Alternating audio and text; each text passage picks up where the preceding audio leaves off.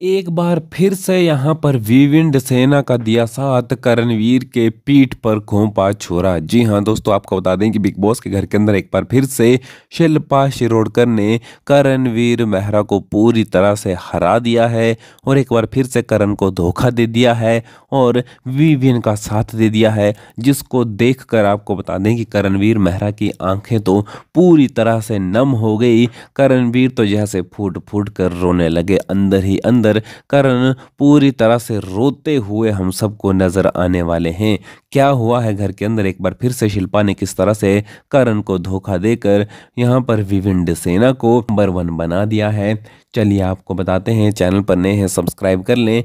घंटी के निशान को आप ज़रूर दबा दें। दरअसल आपको बता दें, बिग बॉस के घर के अंदर, जैसा कि आप सब जानते ही हैं, बीते दिन हुआ एक टाइम गॉड का टास्क, जिसमें अविनाश ने अपनी पीठ पर उठाया हुआ था ईशा को और करणवीर ने उठाया हुआ था ईडन को। और काफ़ी देर तक ये दोनों पीठ पर उठाकर चलते रहे, क्योंकि यहाँ पर दोनों को पीठ पर उठाकर चलना था, जो थक जाता, जो पहले बैठ जाता, वो हार जाता और दूसरी टीम का इंसान बन जाता, टाइम गॉड।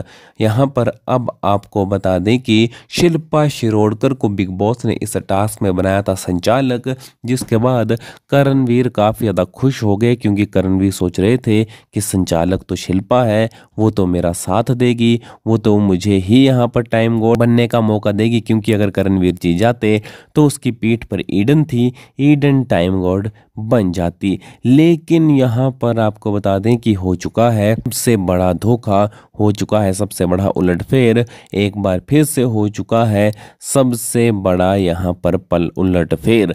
क्या हुआ है यहाँ पर जो शिल्पा शिरोडकर है, जो टाइम गॉड बनने की यहाँ पर संचालक थी, इसने करणवीर को पूरी तरह से हरा दिया, करणवीर को रेस से ही बाहर कर दिया और अविनाश को जिता दिया, जिसकी वजह से अविनाश के कंधे पर जो थी ईशा वो बन चुकी है नई टाइम गोड और जैसे ही ऐसा हुआ, करणवीर के पैरों के नीचे से तो ज़मीन ही खिस गई। करणवीर हैरान रह गए और कहने लगे कि, शिल्पा, एक बार फिर से तुमने मुझे धोखा दिया है।